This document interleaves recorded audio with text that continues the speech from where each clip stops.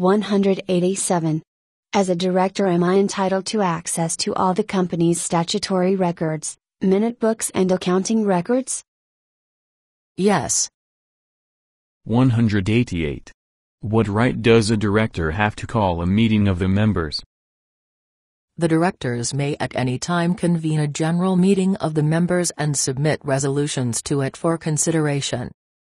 They must of course give the required periods of notice of the meeting and the resolutions. This power vests in the directors as a whole, not just one or more directors acting independently. The directors must, if it is a requirement in their company, convene annual general meetings within the permitted dates.